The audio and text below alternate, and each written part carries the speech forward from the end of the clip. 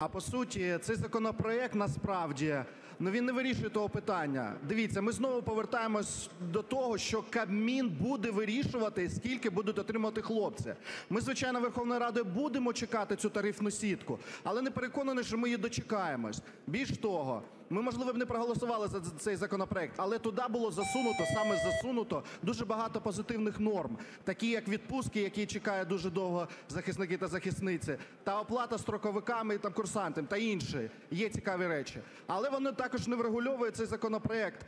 Е, До прикладу, є е, Міноборони зараз надає відповіді, що якщо служити е, в рядах Збройних Сил, то вам не зарахується один місяць за три, бо там є колізія, вони визначають якось військовий час по-своєму. Е, Команда "Розумна політика" зареєструвала відповідний законопроект,